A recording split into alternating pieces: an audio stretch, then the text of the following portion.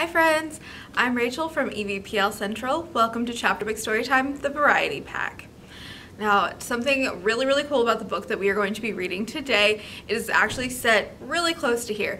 The author is actually originally from Owensboro and took a lot of inspiration from that setting for this book, even though it's set in a town that they created for it.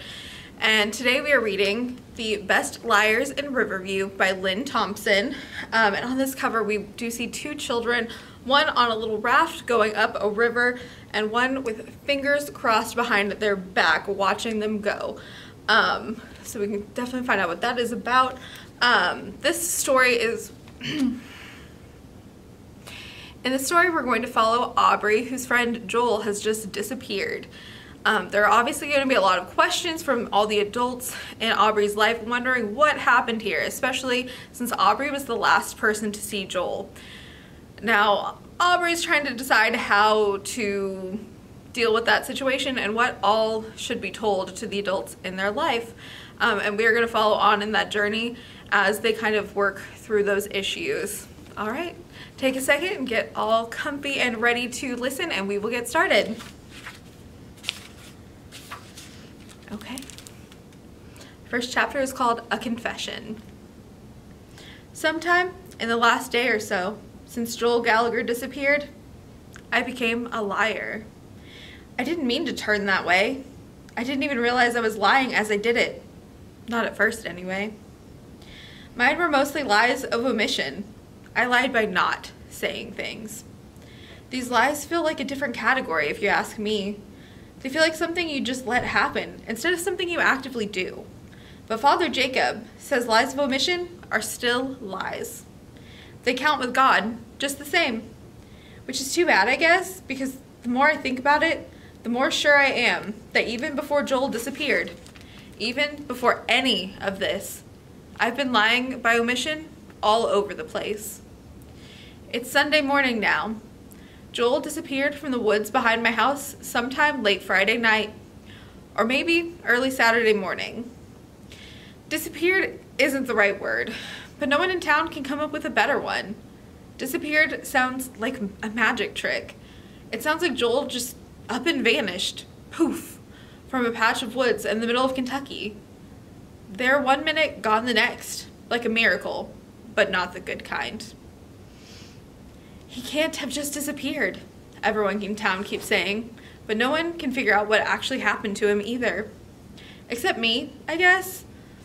I'm starting to have an idea. Confession is a word that can mean a couple of different things. You can confess to the police about a crime you committed, for one. You can show up at the police station downtown and sign some papers admitting you're guilty, that you did whatever the police say you did.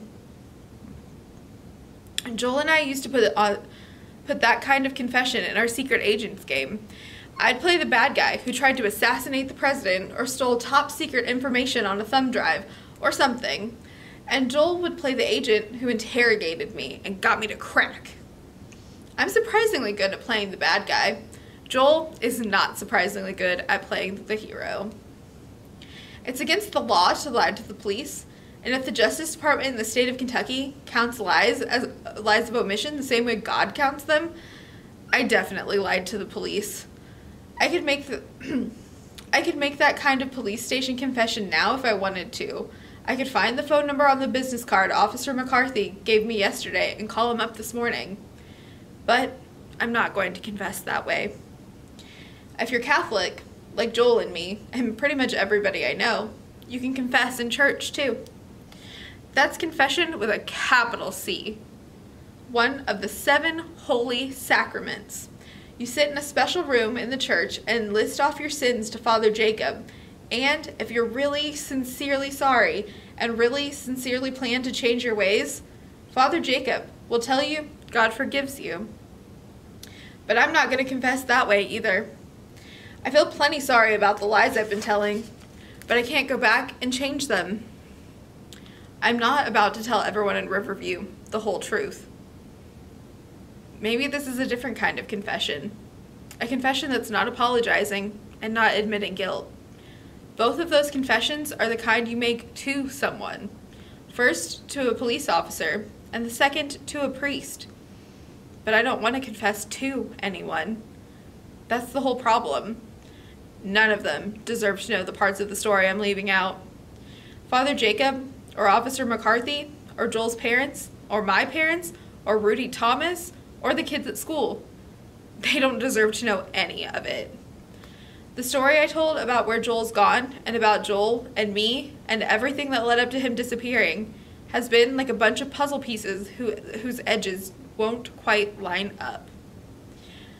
You can try to force them together, but the picture they make is jumbled and crammed. It's missing too many pieces in the middle. This isn't a confession to anyone, it's a confession in the telling. I have to tell the missing pieces, and I'm sure I'll have plenty more pieces to confess before this is all over and done. One version of the story. The official to- story I told the police and Joel's parents and everyone in town about the night he disappeared goes like this. On Friday night, Joel and I went out camping. We always go camping on the last day of school, the first night of summer. It's been our tradition since kindergarten. Joel and I have lots of traditions like that, things we've done over and over for as long as we've been friends, which means basically forever. In past years, sometimes my mom or dad has joined us, or Joel's mom or dad, or my sister Tegan.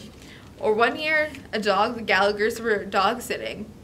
But no one else goes every single year, just Joel and me. This year, my parents were tired out from work. Tegan had decided she didn't like camping anymore unless it was inside a cabin with air conditioning. Marie Clark Espinoza, our new friend from school, this year had wanted to come along but had to drive to Louisville the next day for something with her mom's that Marie wouldn't explain any further. My dad said that Joel and I were finally old enough to stay out by ourselves, so he helped us carry supplies to the same clearing in the woods we've been camping in since kindergarten, helping us pitch two tents and then hiked home. So, it was just Joel and me. But late that night, Joel and I both got spooked. We know every inch of the woods during the daytime. We've crisscrossed them hundreds of times, over and over, pretending that we're pirates or spies or warriors or elves. We know how to make trail markers for each other out of broken sticks or rocks. We know how to tell apart the different kinds of birds. We know the names of all the trees. But the woods at nighttime are different. There are noises. Ones that in daytime I could probably recognize as just the wind through the trees or someone's dog barking. In the dark, they sound like bears or wolves or ghosts. So we got spooked, and Joel and I decided that camping out with just the two of us wasn't such a good idea. We put the fire we put out the fire and packed up the tents. I walked back to my house. I figured he was walking back to his. Joel never arrived home. And that's the end of that version of the story a truer version of the story. Here are some parts of the story that I left out. Number one, the homemade raft Joel and I built together, hooked to the bur oak tree beside Mystic Creek during the last two weeks of sixth grade. Two, our many, many plans to run away. Three, the unrepeatable names Rudy Thomas and the other kids in our class had called Joel at school. Four, what Joel said about these names that night when we were camping. 5. The fight Joel and I had by the campfire that night before he disappeared. And 6. The look in Joel's eyes after the fight had stopped. Joel and I have been friends so long that I know every facial expression he can make. I keep a list of them in my head so I can name them as they happen. I like having categories for things. I like organization. There's the wide eyed, begging puppy dog look when he wants something. There's the sideways smile of his I'm up to something look. There's the too bright cover up smile when he's trying to act like he's not upset, but he really is. But his wild, reckless look after we stopped fighting that night, that one was new. I didn't have a name for that one. A vigil. Nobody's been surprised to learn that the last person that I was the last person to see Joel. The two of us are always together. I used to figure Joel and me had the kind of friendship that happens because you're around each other all the time. Because you're the same age and you live in the same neighborhood and you're in the same class at school every year and your families have gone to the same 9 o'clock mass at the Church of the Sacred Heart every Sunday since forever and ever. Amen. Maybe that's how we started, but Joel and me are more than that. My dad says we're two peas in a pod. My grandma Sadie says we're tight as ticks. Tegan says we're the same kind of weird, and she's probably right. Joel and me were whole summers of, of playing Secret Agents game and our Pirates game and our Woodland Elves game together in the woods. We're jokes that nobody else laughs at because they're only funny if you know the three different stories the joke is talking about. We're afternoons of lying side by side on the ground and flipping through all my Kentucky nature guides and never having to worry about saying something strange or wrong. Talking without having to think. By now, it's impossible to tell if Joel and I have stayed friends because we're the same kind of weird, or if we're the same kind of weird because we've been friends so long. I like to think of us like two of the tomato vines in my dad's garden, the ones that climb up around the same chicken wire fence. We've been around each other for so long that we've grown up the same. Maybe that was our problem this year. Sixth grade brought some good things, like Marie Clark Espinosa, but it also brought plenty of bad, like Rudy Thomas and Vice Principal McDonald, and all kinds of new middle school social rules that I didn't know how to follow and that Joel didn't care about following. Maybe we've just gotten further apart. Or maybe Joel and me stopped fitting together the way that we used to. That's what I'm thinking about Sunday morning during our usual 9 o'clock Mass at the Church of the Sacred Heart. Father Jacob has set apart this week this week's as a vigil mass for Joel, which means we're supposed to be praying extra hard the whole thing for Joel to come home safe. It's been a little over a day since we found out Joel was gone, as if I can think about anything else. I've spent every Sunday of my life here in the Church of the Sacred Heart, kneeling on the folding on the fold down kneelers, the color of eggplant, and staring up at the carving of Jesus on the cross that hangs over the altar. Jesus' hands and feet have little trickles of blood painted onto them, and his eyes are pointing up, I guess toward heaven. I've always thought his face looks almost bored, though. It's after communion now, and on the altar, Father Jacob is leading a special prayer for Joel. He stretched his arms out and tilted his face up toward the ceiling, so he's in just the same position as Jesus behind him. Lord Jesus, please send your guardian angels to watch over our dear child until he's returned to us, Father Jacob is saying. We're all kneeling down and supposed to have our heads bowed, but I can't stop fidgeting and looking around. My dad's on one side of me, Tegan's on the other. Every so often, my dad reaches over and gives my folded hands a little squeeze.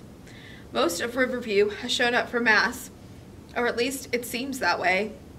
In front of us are the Millers, who live down the street from Joel's family and have seven kids. There's Mr. and Mrs. Fitzgerald, who are both about a million years old and always bring this really smelly jam cake to the church potlucks. Rudy Thomas and his family are here. They're sitting a couple of pews ahead of us.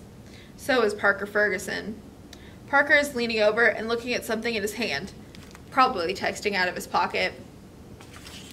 He mutters something to Rudy Thomas, and Rudy snorts out a laugh till Mrs. Thomas leans over and hisses them both quiet. Riverview's the kind of town where you know pretty much everybody, where the same families have lived together for ages and ages where you get stuck talking to the elderly ladies from church for half an hour anytime your mom sends you to run into Kroger for milk. Even if you meet somebody around town who you haven't met before, you can both list off names of cousins and neighbors and church friends till you find someone the other one knows. Vice Principal McDonald is here, sitting between her husband and their two kids. Even Officer McCarthy, the police officer who's in charge of Joel's case, is here for the vigil. For a split second, I think he sees me looking at him, and he gives me a nod, but I bow my head again quick and pretend not to notice. Please, Lord, Father Jacob is saying, please grant us your heavenly guidance to find our child safe and well. That our child part bugs me. He probably means our child, like Joel is part of the, our community, part of the Church of the Sacred Heart, but it makes my whole body feel stiff. Please grant us your peace as we wait for Joel's safe return. Now, Father Jacob reaches out a hand towards Joel's mom and dad, who are kneeling in their usual pew right in the front of the church. They look wrong without Joel there in the middle. Joel's dad stays very still, staring straight ahead, his mouth pulled into a tight line. Beside him, Joel's mom is thrumming with energy. Her left leg of her pants is jiggling up and down in exactly the same way Joel's legs jiggles when he's restless. Please grant your peace to April and Jonathan in this difficult time, Father Jacob says. That poor family, Mrs. Miller in front of us murmurs, and Mr. Miller clucks in agreement. Joel's mom and dad don't need peace. They need Joel. Father Jacob keeps praying, and Tegan bumps her shoulder against mine when I glance over at her. She doesn't say anything, but she gives me a little side smile and bumps me again. On the other side of her, my mom is bowing her head, but she keeps looking over at Tegan and me every couple of seconds, making sure we're still here, I guess. After Father Jacob finishes his prayer, the choir starts up a hymn about God being a shepherd who looks after his lost sheep, and the ushers hand out candles to everyone, even kids. The candles are the same skinny white kind we light every year at Easter. Maybe they're the exact same ones, left over from last month. They have little paper cups around them in the middle to catch the wax as it melts. We all pass the flame down each pew, candle to candle, person to person. Tegan uses her candle to light mine, her hand cupped up around the flame to protect it. After mine catches, I tip it over and light my dad's. He's singing with the hymn, his voice soft but steady. I try to kind of mouth along with the words, but any sound gets stuck in my throat. My candle's melting too fast. The white drips of the wax slide down its side. There's a little gap between the wax catching cup and the candle, and a big glob of wax slides right through, and it lands on the side of my hand, scalding hot. I don't move. I just sit there and watch it. I leave the wax there till it cools, and I peel it off my skin and roll it up into a little ball. The skin underneath has turned a little pinker than usual. God is my shepherd, so nothing shall I want, the choir sings. It's not true, though. I want so much. I want Joel to be here with us in church. I want everything to go back to the way it's supposed to be. I want to go back to the beginning of the year or maybe even earlier. Back before everything got complicated, before everything started feeling wrong. I want to be somewhere, anywhere else, anywhere besides this pew in the Church of the Sacred Heart. I just keep rolling my little ball of wax between my fingers. Joel and me have been friends so long. It's always felt like we're tied together, like there's a string between us. Like when we made a tin can telephone back in first grade, it didn't really work as a telephone. Maybe we didn't make it right or didn't know how to use it. But I liked that telephone anyway. I liked how I could hold on to one end and Joel could hold on to the other, and the long, long piece of yarn would run from him to me, connecting us. Ever since we realized he was gone yesterday morning, ever since I found out he didn't come home from camping, I've kept trying and trying, but I can't feel that string anymore. It's cut down the middle, and the other end is gone. A confession with Joel's mom. After Mass, everybody heads over to the parish hall to form a search party. We've prayed to God to bring Joel home, and now it's time for us to try to bring him home ourselves. My family's heading toward the church's back doors when I realize Joel's mom has beaten us there She's waiting just inside the door, waiting for me. She and Joel's dad have already talked to me a bunch of times since Joel disappeared. They called our house first thing yesterday morning, but they realized Joel hadn't come home from our camping trip.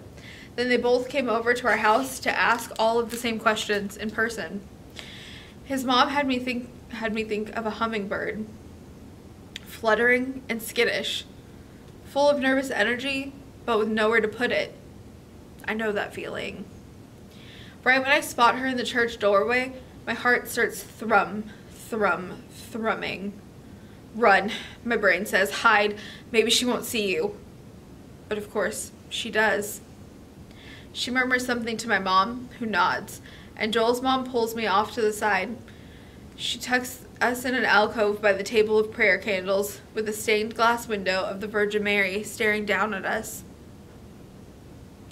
Joel's mom looks as nervous as I am. She keeps clasping and unclasping her hands. I just wanted to ask, she says, then stops, clasps her hands, unclasps them. I have to ask if there's anything else you can remember from the other night. Anything at all. I know how you two are. How you two are. It's such a short way to sum up our whole lives together. Playing in the woods, making up stories, telling each other everything. Or at least we used to. Joel's mom looks a lot like him. Older, obviously, with darker brown skin and her hair in long braids, but sometimes in her eyes and in the curve of her mouth matches Joel's perfectly. She fills in the gaps that are always left when you look at Joel alongside his dad. Not just the obvious stuff, like his skin color and hair. Joel and his mom are black, while his dad is white. It's more than that. His dad doesn't smile very much, and his eyebrows always point down a little. Without seeing Joel's mom, you can't figure out where the joy and energy and heart come from. Her dark brown eyes are so soft and serious now that looking right at them makes me feel a little like I swallowed a rock. I look at her shoes instead. I know he was having a rough time, she says. His dad and I. She shakes her head and tries again. I should have, I mean, we were talking about. He told me. I say, because I don't want to hear her say it. My stomach starts sinking into a pit that feels like it might swallow me whole. I don't want to think about what Joel told me by the campfire that night. I don't want to think about the fight. I shove my hands into my pockets and clench them into fists, pushing my fingernails into my palms. At least that hurts less than the sinking. I've started asking around, Joel's mom says, and I know the police are trying, but if there's anything you think of that might be important, something he said or someplace you talked about, Aubrey. I have to look at her then when she says my name. Do you have any idea where he might have gone? I guess I haven't really thought hard about the lies I've told up until now. I know they're wrong. I know I'm wrong but it's so easy to leave the tough parts out, and I've been doing my best not to think too hard. Everything that happened on the last day of school, don't think about that, I keep telling myself. Our fight by the campfire, don't think about that. Finding out Joel was gone, don't think about that. Yesterday morning, when I talked to Joel's parents, and later on, when Officer McCarthy asked me for all the details down at the police station, they had all asked, Do you know where Joel is? And when the question is, do you know where he is? I can honestly say, no, I don't. But when the question is, do you have any idea where he might have gone? Well, if I'm being totally honest, I have a hunch. Joel's mom is still studying me, staring right into my eyes. I try and try to swallow down the rock in my throat. To go back to before the lies felt like they really mattered. In my pocket, I can still feel the little ball of wax from my vigil candle. Sorry, I don't know, I hear myself saying, but I'll tell you if I think of anything. As I cross over to the parish hall and meet up with my parents in Tegan, I try to convince myself that I did the right thing. I don't know anything. Not for sure. I shouldn't get Joel's mom's hopes up before I even find out if my hunch is right. If I tell her about all the parts of the story I left out, I'll get in huge trouble, and Joel will get in trouble, and besides, maybe I'm wrong. And then, even after all that, we still won't be any closer to finding him. But I know that's not the whole of it. There's another reason, too. An uglier reason. one that keeps my stomach clenched tight for a long, long time. I'm not proud of it, but this is a confession, and the truth is that maybe I don't tell her because I'm mad at her. When I look at her, all I can think about is what Joel and I had fought about by the campfire that night. All I can think is you can't just take him away. I will wait until I know more, I figure. Then I'll tell. But it turns out that's another lie. Later, after the search parties come back and show Officer McCarthy what they found, I know without a doubt in my mind that my hunch is right. And even then, I keep my mouth shut. And that is where we're going to have to end this one, unfortunately. Um, if you are interested in seeing what happens where Joel has gone and if Aubrey um, does ever confess to the adults in their life about what has happened, um, you can pick up a copy or call to put one on hold. Um, and we would love for you to finish the story and see how it goes. I know I am very excited to see what is happening because I, I gotta know. I'm very curious. Okay, thank you friends so much for joining me. Like always, I love being able to do this with you and share these stories. I will see you all next time. Bye.